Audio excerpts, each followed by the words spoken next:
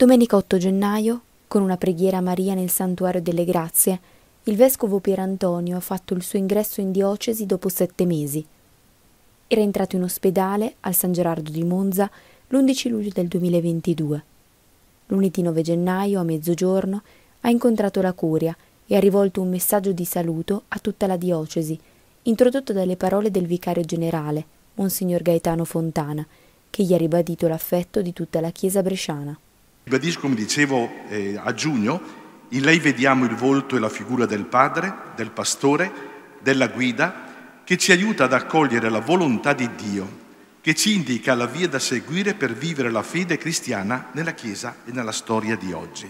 Il vescovo ha ricostruito le diverse fasi della malattia e ha ringraziato il personale medico per le qualità professionali e umane messe in campo, i familiari e la diocesi per la vicinanza e per la preghiera.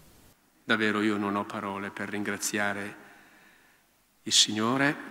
Mi piace riprendere questo passaggio del Magnificat, grandi cose ha fatto in me l'Onnipotente e Santo è il suo nome. Sono le parole della Madonna che sento, sento particolarmente mie perché davvero uh, c'è tanto di cui ringraziare, ma sono anche consapevole che questo ringraziamento poi deve estendersi perché eh, tante persone, voi compresi, l'intera diocesi, davvero mm, io ho sentito, mi è stata vicina, tante persone mi sono state vicine con la loro preghiera, questa preghiera che direi ha permesso alla grazia di Dio di operare, che si è trasformata in vocazione, in supplica, accompagnata da, un, così, da, da una vicinanza sincera che io davvero ho percepito e di cui vi sono molto molto grato.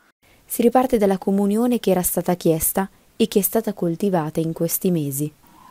Ecco, ora siamo qui, riprende il cammino con tanta riconoscenza, con l'unico desiderio da parte mia di servire questa Chiesa, di, come, di servirla come merita Voglio qui esprimere tutta la mia gratitudine a quanti in questi mesi si sono impegnati, davvero si sono fatti carico del compito di guidarla, la Chiesa di Brescia, primo fra tutti il Vicario Generale, a cui facciamo un grande applauso.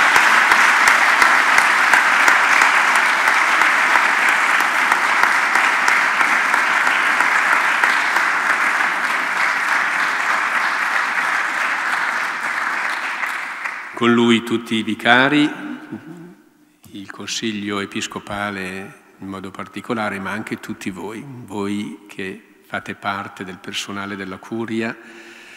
E vi avevo raccomandato, forse ricorderete, eh, quando ci eravamo visti l'ultima volta, di, di, aumentare ancora di più il livello della comunione, no? del sostegno reciproco, ecco, adesso a distanza, per quel che ho potuto percepire, vi devo ringraziare perché questo è accaduto, questo è avvenuto. Io, man mano che mi arrivavano le notizie, e ci si sentiva, avevo chiara questa percezione che, che si, si, stava camminando insieme e che tutti, si, tutti, tutti percepivano la serietà del momento e il bisogno davvero di, di dare il massimo. Per il bene della